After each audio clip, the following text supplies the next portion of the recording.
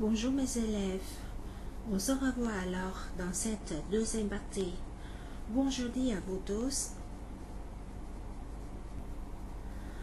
Alors, on passe maintenant à la deuxième partie, compréhension détaillée. Et maintenant, vous relisez attentivement le document pendant 4 minutes. Faites attention aux mots colorés.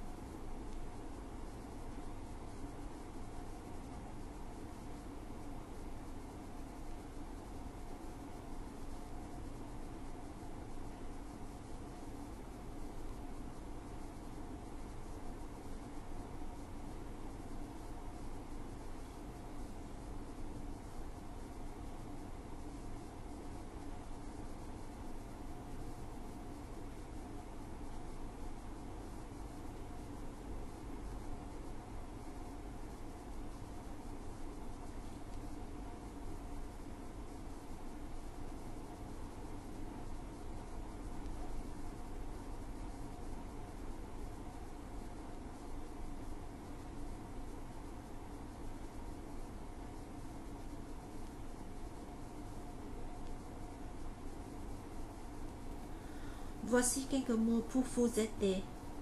D'abord, obèse. C'est un adjectif dérivé du nom obésité. Ensuite, alarmant. C'est aussi un adjectif dérivé du verbe alarmer. Et indice de masse corporelle, on dit aussi EMC. L'EMC permet de calculer la corpulence d'un individu selon sa taille et son poids. À, Un IMC normal se situe entre 18,5 et 25.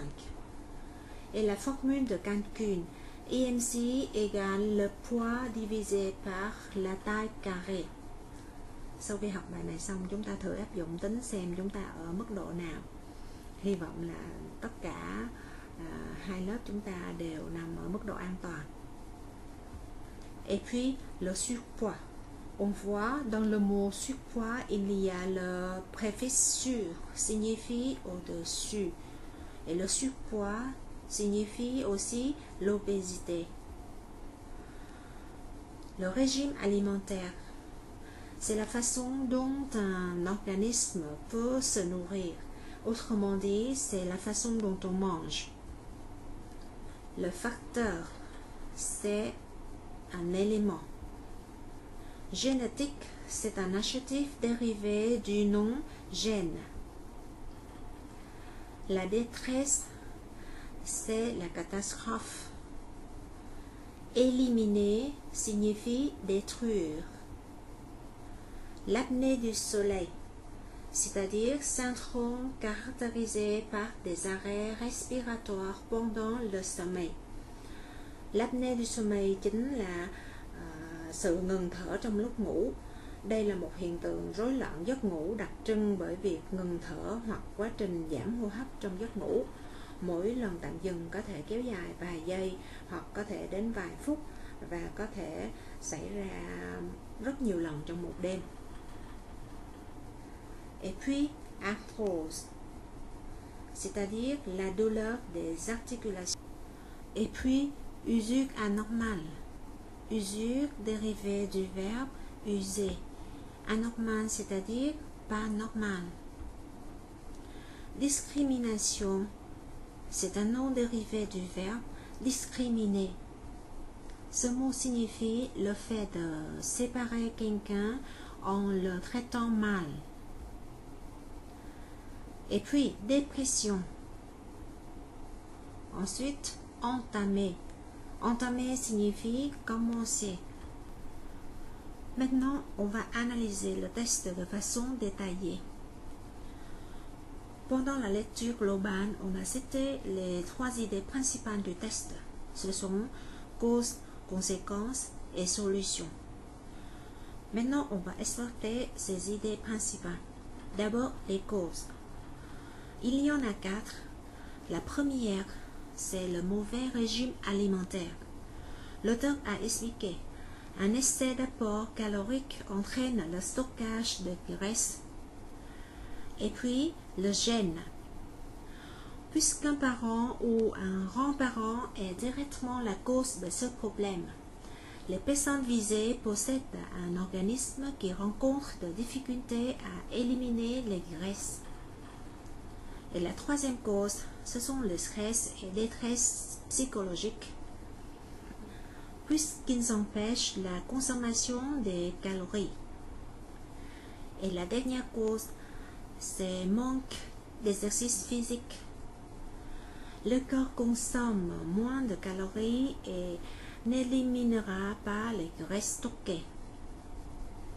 Et puis on passe aux conséquences. Qu'est-ce que l'obésité peut provoquer? La première, ce sont les maladies cardiovasculaires. Par exemple, l'hypertension artérienne, insuffisance veineuse ou l'apnée du sommeil. Et puis, arthrose. Le surpoids entraîne une usure anormale des articulations. Diabète, et puis, discrimination et dépression. on passe aux euh, solutions. Il y en a deux. D'abord, on doit identifier la source du problème. Par exemple, est-il psychologique ou euh, hormonale ou euh, issue directement de mauvaises habitudes alimentaires? Et enfin, on peut consulter un professionnel. On a fini la lecture d'un test concernant l'obésité.